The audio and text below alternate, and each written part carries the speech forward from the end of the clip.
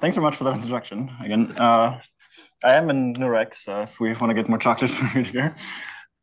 I, I think the, these kinds of lectures are also a, a, good moment to, to recognize the human aspect, as, as Rudiger has already pioneered. Uh, I, I would like to take a moment to thank my, my wife, who enables me to, I think, be here right now. Uh, you'll see her juggling two kids at the same time at the moment.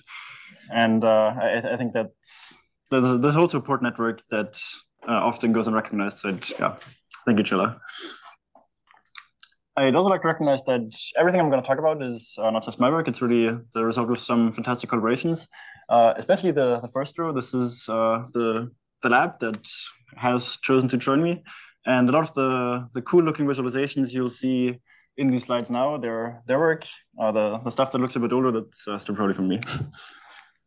and for, for all of us, the, the question that, that really drives us is how does the brain give rise to the mind? So we were probably a bit more abstract in the hierarchy of what we study. We, we don't look at molecules, we look more at neural populations. And we try to figure out how do those give rise to behavior? How, how do we do all the amazing things we do as humans? What is the neurorepresentational basis that, that gives rise to that? We're of course not the first to ask that. Uh, this is a question that has been asked in, in popular media. Uh, the, the Simpsons did a sketch on that and uh, they they have a certain prediction for how the brain might, be organized. I, I, can tell you at least that in humans, uh, it's not like that. And I think our, our field has come a long way. So uh, one of my favorite lectures was from uh, Bob Desimone at MIT, and uh, he he liked to tell the story where initially we, we didn't have we didn't even have uh, electrodes at the time. So what we started with was we, we started to feel the skull, and that was called phrenology. And what people did was they the like Franz Joseph Gall was one of the experts at feeling the skull and, and telling you how intelligent you are as a human. In fact, they did this for uh, U.S. presidential elections. They they first tested them, and then this was printed in the newspapers. And then they, they said, "Oh, this this person has a really big skull. I think they're they're a good choice." Now, of course, we've come a long way. So now we've got access to thousands of neurons uh, and even even molecules, that, as uh, Jill mentioned. So th this graph tells you over the, the course of years, starting in the, the 1960s, all the way to 2020. So this is even a bit outdated now on a, on a log y-axis, how many neurons can we simultaneously measure? So one dot here is one experiment or basically one paper. And uh, you'll see that in the around 2020, we were at a bit over a thousand. I think now we're probably up to 10,000. So we, have really got a lot of data and we've, we've gotten uh, a lot done and I think we've made a lot of progress. So ideally, I would now like to tell you how the brain works supported by all this data. And we still don't know. Uh, wh why is that? Why, why have we not figured it out? Uh, so one quote that some of you might have heard is that if the human brain were so simple that we could understand it, then we would be so simple that, that we couldn't. Sort of this, this oxymoron where uh, maybe it's just so complex that we cannot figure out because we would have to be even more complex and so forth. I think one way forward, as Christoph Koch, for instance, uh, also also posed, maybe it's beyond human capacity to understand, intuitively understand the human brain, but it might be that models can help us. I think Christoph would, would not go quite as far as to say that the models are the answer, but uh, I think they're, they're at least a very reasonable first step. So our goal as, as a lab is to model human intelligence and the neural mechanisms underlying it. And we think this is really exciting for three main reasons. One is it will give us this computational mechanistic understanding of how human intelligence actually works. It, I think, will help AI. It might lead to next generation intelligence algorithms. And finally, we're really excited about how this might actually be at some point be translated into the clinic. Can we use these models to, to then actually help people? And uh, for, for those of you that have been around for a while, you might know that there has been a synergy before between neuroscience and uh, sort of the more engineering disciplines. So there has been these sort of early synergies of studying cognition and the brain and building computational models. And at the time, I think I would characterize this as mostly qualitative inspiration, it was extremely effective. It gave us things like artificial net networks, feedback, Hebbian learning, and so forth. And this was really cool. It really is the basis for a lot of what we do today in machine learning. But if you look carefully at the years here, I think this trend sort of ended maybe a bit before 2000. There's a really good review from uh, Demis Hassabis that summarizes this quite nicely. So is there is there anything that we could still learn from neuroscience? And is there any synergy to be had between these two fields? I think one really exciting way forward is to treat this a bit as a bit more as a quantitative synergy now. So in that phrasing, the brain cognitive sciences give us quantitative measurements and discoveries, and the machine learning side gives us more of these computational hypotheses and more fine-grained predictions that we can then test again. And uh, we like to call this the system models of natural intelligence because they try to describe an entire system at once. And then this is really not just one step, it's, it's a cyclic process where the models make predictions, we test them, we use them to improve the models again, and, and so forth. And I'll, give you some, some examples of that today of how we think this, this can look like in practice. And the, the, the key things I want you to take away today are sort of threefold. One is that I think as a field, in at least understanding entire domains of intelligence, we need to move past just individual experiments and sort of the, the single lab mentality, but really we need to, to rally and put things together at scale. Second, I think the models we have today are already pretty decent. We, of course, can make them a lot better. They're, they're still bad in many ways, but they're already quite useful in deriving a new set of experiments. And finally, I think it's, just really nice time right now. We, have got a lot of advances in machine learning. We've got a lot of advances on the neurotechnology side. So these things are coming together uh, in, a, in a quite exciting way.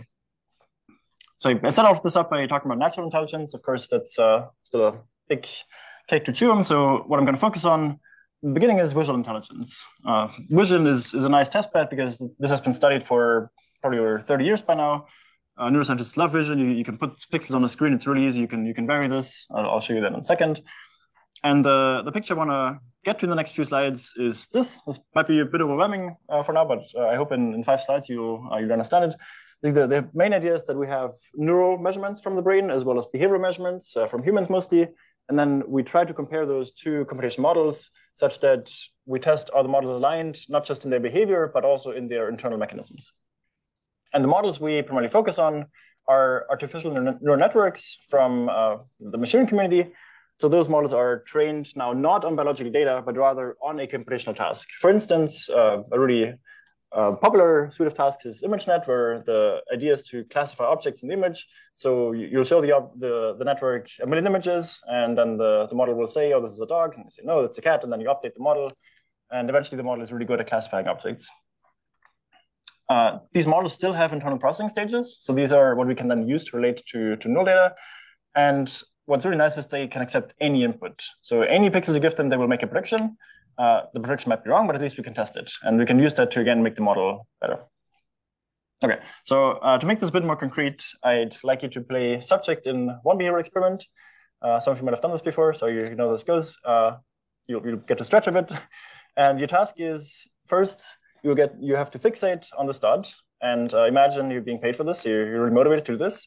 And what I'm going to do is I'm going to flash an image, and then there's going to be two choices. And your, your job is to raise your left hand if you think the image on the left is the most similar, or your right hand if you think the image on the right is the most similar. Okay, I'll, I'll do one, uh, one sample of this to warm you up. Ready? Okay, cool. Yeah, uh, you're, you're being paid, imaginary. so the, the yeah, chocolate. This is probably pretty easy. Uh, so I'll show some images now that are a bit more difficult. And as you are raising your hands, you might want to watch your neighbors and see if at some point you start to disagree. okay. Yeah, this goes fast. You have to keep up. Yeah, okay, so this always works. Usually around the, the rhino, people start to disagree. oh, there, yeah. yeah. so yeah, you're, you're a good representation of uh, the average human in that uh, we, we, can quantify. Sorry, the, the average human who is really good at this task. and we, we can quantify the average human uh, proficiency at this task in a confusion matrix. So the, the different uh, rows of this matrix now are the images that are being shown, and the different columns are the distractors, so the, the image that is not correct. And um, sort of more uh, bluish colors mean that it was correct. So something like dog versus fork is really easy, whereas uh, rhino versus bear, as you might have noticed, uh, might be a bit more difficult, especially as we really show the images around. Now, when we compare models to these data, it's actually quite straightforward because what we do is we just show the exact same images to the model, uh, we have the model look at those, and we have to perform the same tasks. It has to classify objects. And then the model make, make a prediction that we can then relate, again, with some similarity metric to the data that we have recorded before. And this gives us a score that tells us how good the model is.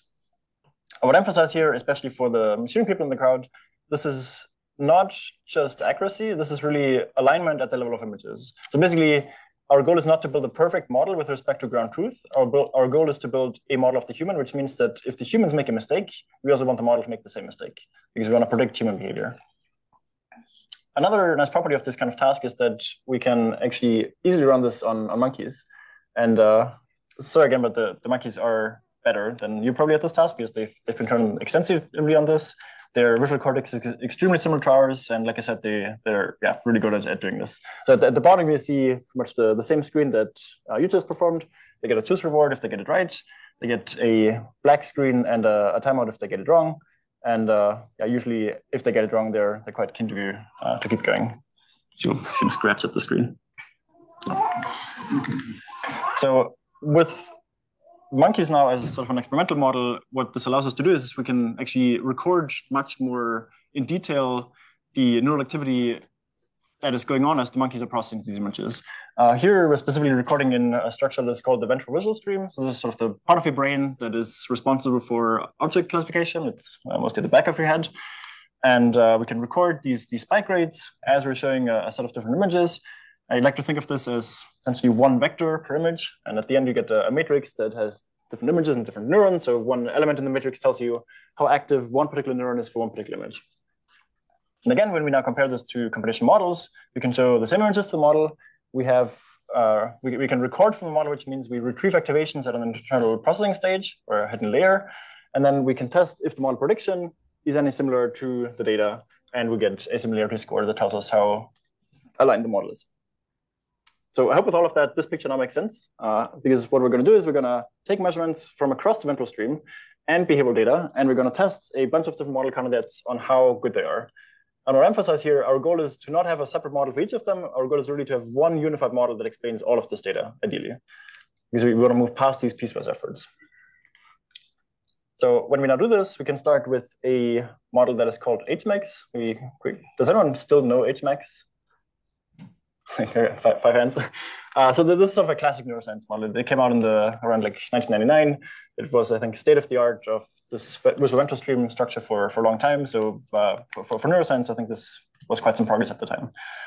Uh, if we now test it and may, have it make predictions on, for instance, IT recordings, this is what it looks like. Uh, it's probably a bit easier to look at like this, where the x-axis are the model predictions uh, for, for each separate image, and this is pooled over all the different neurons. And then the y-axis are the actual neural recordings. So I mean, th this model is, is not very good. It, uh, it's not that great. So, so that I don't have to show these images now for every single model, I'm going to give it a score. So the model now gets one dot for IT. We can score it on all the other uh, data sets. It's, it's okay for early visual stages, but especially as you get to high level visual cortex and to behavior, this model just starts to break. Now, if we test models from computer vision, and there's, as you, as you may know, a whole kitchen sink of these kinds of models, uh, we find that some of them actually are surprisingly good at predicting brain data as well as behavior data. So the, maybe illustratively, again, if we take one of these models, uh, again, same axis as before, you'll find that the, the predictions of the model on this particular data set are actually quite a bit more uh, sufficient uh, or sophisticated as, as what we've had before. So what we're, we're finding now is that certain artificial neural networks today are actually state-of-the-art models of neural and behavioral alignment. And these, these come from a computer vision community that per se does not care about biology. These models are not trained on neural data or behavior data. They're trained on a computational task. I think that it's quite interesting from a sort of convergence of intelligence solutions perspective. Uh, also, we're always showing up-to-date results on the BrainScore website, so I encourage you to check that out at some point if you have the time.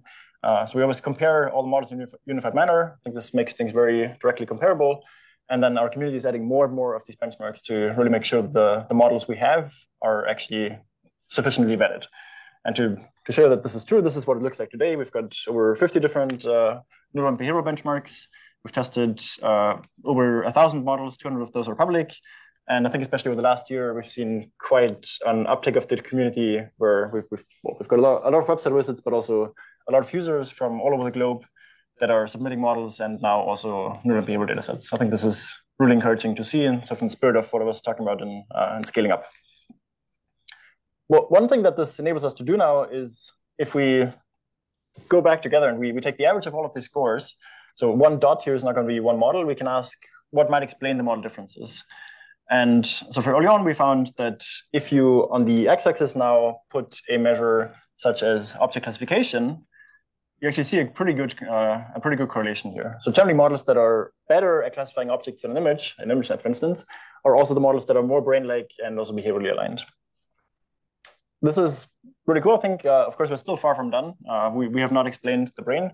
Uh, today, we're at around maybe 50, 55% explained variance. So I think we, have made some progress. And uh, there, we've also made some progress on, on other fronts that I want to tell you about now. So this is sort of one example of how we might find relationships using the model sort of as glue between different data sets. Uh, we, have done a lot more of those. I, I don't have time to go through all of that, but I think like generally the, the idea is we can do more than just measure improvements over the years, but we can also connect neurons to behavior. Like for instance, if you make a model more V1-like to improve its behavioral alignment and, and so forth. So we and the, the, models allow us to connect between different data sets without having to record everything in the in, in monkeys again. So I want to tell you about one particular axis of this, which is uh, robustness. And uh, not everyone might know robustness, so I'll quickly introduce you.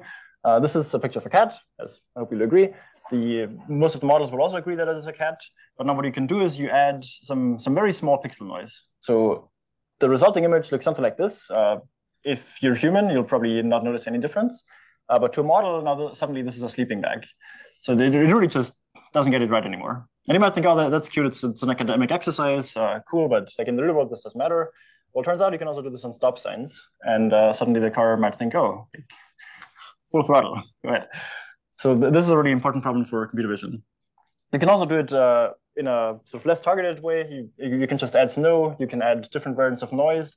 And for all of these, the, the model performance will just uh, suffer quite drastically. So what we've found then was that if you measure the robustness of models to these attacks, so here higher is better because they're more robust, they're less confused by these attacks, and you correlate that with the alignment of the models to V1, so this is the, the early stage of visual processing, then there's actually quite a, a tight connection. And we, have used this then to connect back to sort of classic neuroscience, which had built some models for especially V1. So we, we took that as the first stage, the first layer of a computation model. We trained the rest. And now we had a model that we called VOneNet that ultimately ended up being a lot more robust by sort of synergizing these ideas from neuroscience as well as machine learning. And recently we've taken that a bit further by looking not just at V1, but also by looking at high-level visual cortex, IT, where we can now directly optimize the models on data. And again, we find that making the models more brain-like improves robustness. And it also improves behavioral alignment. So again, getting these connections between uh, neural alignment and behavioral alignment. So I hope this is one illustrative example of what we can do with this. There are others uh, that have to do with making the anatomy more aligned or reducing the number of training updates. But I think that this is really exciting in connecting neurons, behavior, and the computational task. okay, so uh, th this was all vision. I, I, do want to tell you a bit also about language, because uh, early on when, uh, when we started doing this work, we, we've had a lot of feedback that was, yeah, like this is going to work for sensory processing, but like, well, once you move to cognition, there's no way this is going to work, right? Like the, the artificial neural networks are just not like the brain once it comes to something like, like language that is maybe a bit closer to thinking. so the question we asked is, if you take language models and uh, the, the PR goes like large language models, because there's all the hype now, how brain aligned are those? So now the data is not going to be electrode recordings anymore. For the most part, we're looking at fMRI data. It's much harder to stick electrodes into humans, although some of the data is from that. Uh, this is one illustration of that. There's a particular area, mostly left lateralized along your brain, but also some on the, on the right side of your brain that lights up a lot more as you uh, process different linguistic inputs. And so the, the plots are going to be very similar to before. The y-axis now is the alignment of models to neural data sets. And again, we're going to use multiple of those because we want to make sure that the models are, are thoroughly vetted. And uh, yeah, so I, higher is better. And we're going to normalize this by sort of the internal ceiling of, or the internal consistency of the data.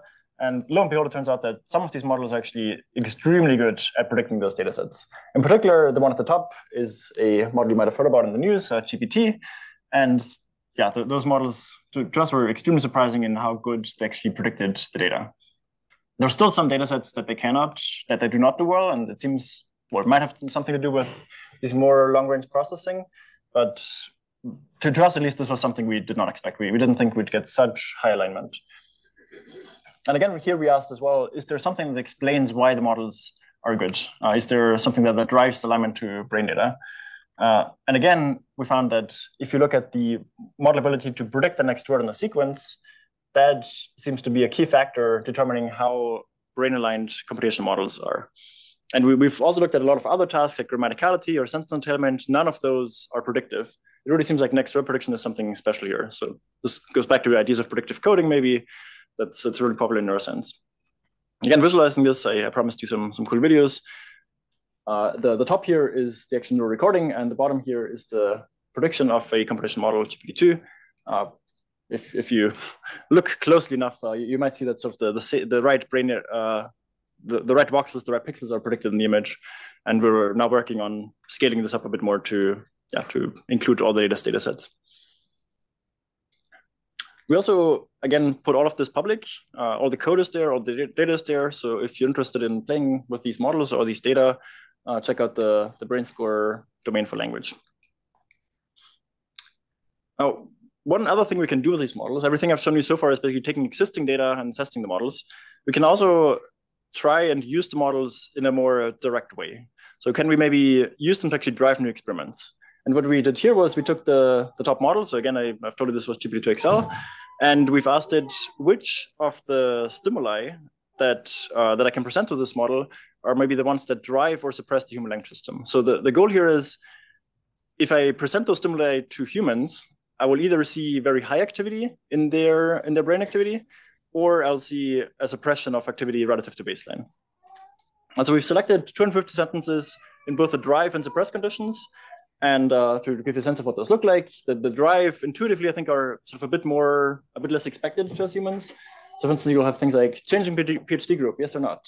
Notice how you reacted to WTF, and, and so forth. Uh, whereas the suppressed sentences are maybe a bit more boring. Like the things like we were sitting on the couch. That is such a beautiful picture. Like these things are maybe not quite as engaging.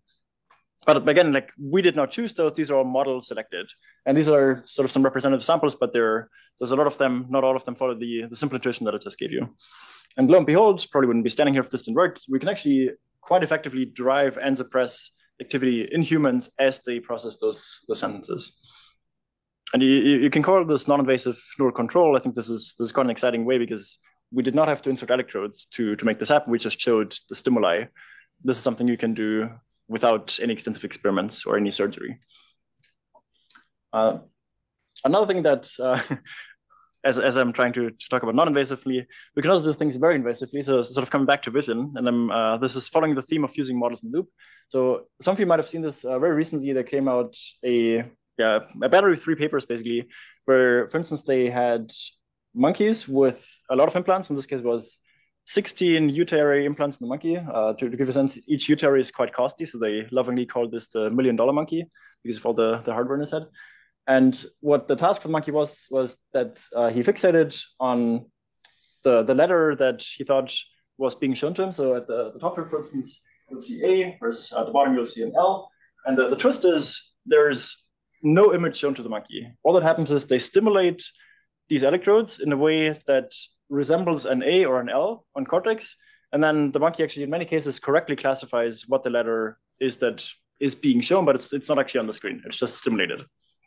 This also works in humans. This worked from uh, Baylor College, where people that are completely blind, so like no vision whatsoever, you, you can stimulate them with implants in, in the early visual cortex, and suddenly they can they can do letters again. So this is like to me, this is extremely fascinating. I think that's sort of adding to the, the excitement of being in this field at the moment. The sort of caveat here is we can only do letters. We, we cannot do more right now. So uh, we, we cannot present them a dog. We cannot show them cats or anything. Uh, there, there's no object level vision yet. And uh, a lot of the field right now is betting on further hardware improvements. We think that if we can make progress on the software, then we could also drive this quite a bit more. So the, the idea for us is that if we could put these implants in high level visual cortex, where the representations are a lot more object centric, then perhaps stimulating there might allow us to already generate object level percepts. So the idea is now sort of going the other way. Again, can the, the models inform the neural interventions? For this, we need to change the models a bit. Uh, so when I showed you the activity before, I sort of did not mention yet that really this is all in, in physical space, right? So there's a tissue that we record from, so everything is spatially organized. Uh, if you squint enough at this uh, video at the top, you, you, might see that there's spatial clustering. Uh, this you, you, can see this a lot better in fMRI, but uh, as you look at cortex, there's clustering of neurons. For instance, you'll see a lot of face neurons clustered together, so neurons that are selective for faces, or neurons that are selective for bodies and whatnot. And we can now build this into the model as well, where if we change the loss from just classification to also now include a spatial component, we can organize the neurons such that they sort of resemble, uh, to the first extent, the spatial arrangement of neurons in visual cortex. And if we now use this model, we can actually use it to make these more causal predictions on how neural interventions are going to affect behavior. So as we do neural perturbations in, in IT, we can sort of simulate the same perturbation in visual cortex, so the in visual cortex of the, the model. So we insert a, an artificial electrode into the artificial model, and then we run the model forward, which will allow the model to make a behavior prediction. And then we, we test if that behavior prediction is any similar to the behavioral effect that you observe in, uh, in monkeys in the experiment. What I emphasize here, th this model has not seen any behavioral data. Again, like so, sort of like before, it is not trained on biological data. It is optimized on a task with a spatial loss, and then we will test it on the biology. And also it's again end-to-end, so on not just any image, but also any perturbation, uh, any stimulation strength and, and, so forth, we can make new predictions. To give a sense what this looks like, uh, this is one particular model, uh, basically the, the tissue of the model. It's a uh, roughly 10 by 10. Each dot is a neuron, and this is averaging over a lot of images that are, that are shown to the model. This is baseline activity. If I now were to insert an electrode, let's say here, and stimulate, then I would get a slight increase in activity at that stage. I'm sort of going to go back and forth a bit so you can see it. Hopefully it'll pop out that there's just more activity here now. And so now if we will run that model forward, it will tell us that some particular behavior will be affected. For instance, you, you might be more likely to respond face or, or no face. And so we tested this model across all the experimental data we could get our hands on for hyaluronic cortex. This includes now not just microstimulation, but also optogenetic suppression, muscimol suppression across a battery of different tasks from face classification to object classification and, and so forth. And uh, turns out that at least qualitatively, this model actually predicts all of those experiments. And again, we, we did not train the model for this. We, we just built the model and tested it. It turns out it, it works extremely well. So at least qualitatively, this, this works quite well. Uh, but also there, there's more work to do. Quantitatively, there's still a lot of mispredictions. But I think that this is extremely encouraging to maybe one day actually bring this into the clinic and actually use this for something like visual prosthetics that might then help people. Okay, I think this is a, a good point to end. So the things I, I, I want to convey are we're advancing this BrainScore platform. There's really a community resource. Uh, and I think this allows us to enable the to discover these relationships between neural function, behavior, and computation. Then we're building better and better models. A lot of them, I think, are already pretty good right now. So if you do experiments, then you, you might want to consider using them to prototype your experiment or to actually inform your experiment much more closely, as I've shown. And then yeah, finally, I think I think this is a really exciting time for us to study brain, and I'm extremely excited about what we and uh, my, my lab will do together to push on this frontier. Thanks.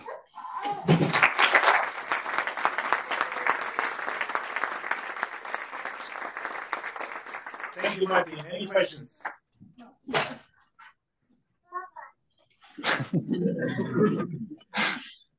Hey, question.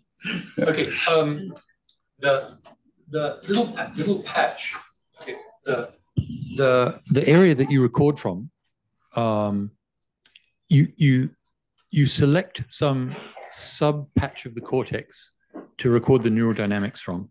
I mean, when, when we insert the the electrode areas, for example, yeah, yeah, yeah, and so and that that gives you some sort of it gives you the real recording of what happened. And your your model is simulating the same kind of area by design um, and the, and you've you've seen that well i mean it's and it comes up with a structure right when you train it on the task now the thing that i'm still trying to understand is the um, you you could have put the patch somewhere else in v1 or mm. somewhere else in v2 and it I would naively expect that the detailed neural recordings you get there are different. But what you're sort of saying is, well, they're statistically the same somehow, and it doesn't matter where you put that patch. Am I? Right. So uh, I think what, you, what you're probably referring to is uh, what I showed early on when, sort of around here, right? Like when we get recordings from from the uh, from the, the monkey, and also we get model predictions. So I think a lot of it comes back to how we do the similarity metric here. Okay. So we, we like to think of this as basically two matrices, and at this stage we, we do not have any space, right? Like it's just basically giant matrices that don't have a notion of tissue. So you can do different. There's different ways of comparing these two. One of them is you do a 90-10 train test split, for instance, uh, along the stimuli, and then you learn a linear regression from the model activity to the brain data. and then you apply it to the held out uh, the held out stimuli and try to predict what the, the brain recordings will be, and then cross-validate this. So this sort of allows a reorientation in a linear space of the neural activity and allows us to, to get away without having to care about tissue at this stage. But with the new models we're building now, where we're trying to get much more closely at that, maybe we don't have to actually learn this transformation. Maybe it's already going to be built in. Uh, I will say that even across humans, as you go further away from sensory input, the the the sort of functional specificity of tissue differs. So you, your IT area will probably be uh, quite a bit different than mine. So even across humans or, or, monkeys, we have to do some kind of alignment procedure or some kind of mapping procedure. And we're still trying to figure out what exactly that is. Um, a, fantastic talk. I have a question. Um, uh, can you use, so you're saying the networks that perform better, they're more brain-like. So if you had images and brain activity, couldn't you train better models this way that are more robust? Yeah, but we're trying exactly that right now. Uh, so I think we've, we've had some success of optimizing the model so far on the task plus the brain data, and we're trying to see how far that can go because until now we've only done it at for individual brain areas like for V1 and IT, and for sort of small data sets of, of brain activity, and we're now trying to see how well could this scale. So if, if we were to collect, let's say, a million more images in monkeys, which it's not going to be done tomorrow, but it could be done in a year or so as some, some labs come, come together, how good would the resulting model actually be at the end of the day? So the, the scaling laws of uh, optimizing on, on brain data and also on computational tasks. Uh, I'm wondering, like, we have any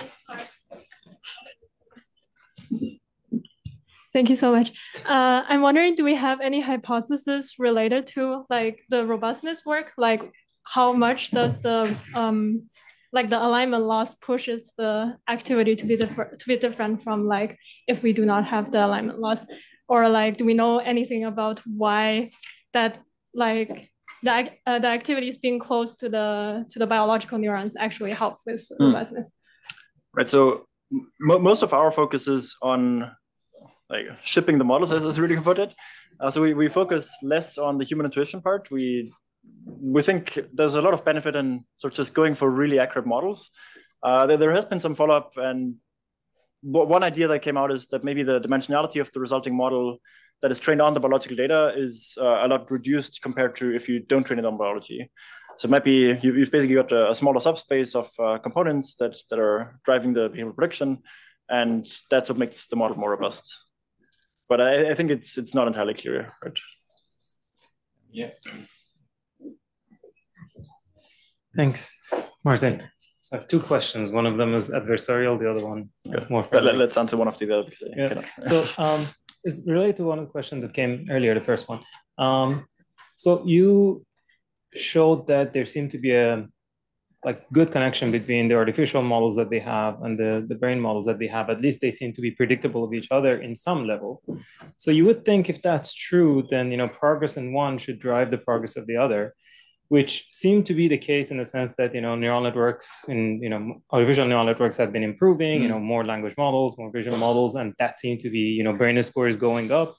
Why do you think the opposite hasn't happened so far? Oh, it actually has. Yeah. Yeah, well, there of course, like Fukushima was inspired by yeah. the brain, but you know, it seems like there's a one-way traffic. So, what do you think? yeah, no, so right. So, uh, in in trying to keep this this talk simple, I focused on the the data up to like 2020. If you look at that graph today, you'll see that it starts to flip over a bit. So, as you keep optimizing for ImageNet, the model is actually turning out to be less brain-like mm. as you push them really, really high at that performance level. Uh, we're, not sure why that is. What we're trying right now is to see if this happens across all different data sets. If you do things like LAION or, or EcoSet, as you optimize on those, uh, do you, do you get the same effect? Is it maybe just a lack of diversity? Like ImageNet has a lot of dogs in it, for instance. And well, then they yeah. seem to be then diverging completely. But up until let's say yeah. the 2020 moment where they seem didn't seem to be diverging, still like the traffic of you know if that's true like i would think that let's if it if i pre-train a neural network on the like electrodes recording that mm-hmm. you have as a pre-training strategy and then i you know uh, use additional data on a data set mm-hmm. it should be a good pre-training strategy but i've never seen that to be kind of the go-to yeah that people yeah I, th- I think the issue is uh, in machine learning we have access to like now millions of images and many, many more. In neuroscience, we have access to thousands of images with a couple of hundred neural sites. Mm. So even though I was showing this graph in the beginning of like it is improving, we're, we're still far from the scale of machine learning, I think. And the, but like if you pull everything together, all the neural data sets, I think there might be some headway to make, and we're, we're trying. but so far, yeah, it was just much reduced data in neuroscience compared to what we've accessed to in ML. So it's big enough to be a test, but not a exactly, yeah. But I think that is changing. I think like now with new neurotechnology, this this might not be true for much longer. We might actually be able to train, for instance, on, on mice, I think you can actually start doing this today because there you have access to a lot more neurons at the same time. Do and you, want the pessimistic question too, or no? Uh, let's keep maybe. Yeah. Last question. no, no pessimism. Okay, um, fascinating talk, and I'm not sure if Rüdiger has a chance, but I think Neuro-X is very happy that they could hire you. Um, but I have a question too. And I think it's very cool that you can model all these behavioral and neural data. But what is about overall characteristics? Like, for example, are in your super good models still models that basically um, do the visual task by textures rather than segmentations, mm-hmm. or rather by features and holistic stuff? Yeah, great point. So, so it's not yeah. only a, a score-like thing; it's really a binary thing. For example, a texture model is just out. Right. So okay. So I think what what you're saying is there are behavioral phenomena that we know are true in humans. For instance, humans tend to rely a lot more on the shape of an object rather than the texture to make a classification choice. Uh, this is something we have started to put on BrainScore, and it, I think I, I don't see it as binary. It's more a gradient. Like some models are more shape-like and make more human-like decisions in sort of the the shape texture discrepancy. Uh, I think none of the models are, are perfect right now. So we and and that is true already on the neural data and all the data I've shown. So I, I, think like these models are a lot better than what we've had so far, and we we can start to use them, but they're still far from perfect. So they they still exhibit things like the the texture bias compared to a human uh, shape bias. To to me, that mostly comes back to let's just put more data up and let's build better models. I, I don't see this as a I guess a fundamental limitation of the models. It's more just today's models are not good enough at that. Yeah. Okay, let's thank Martin again.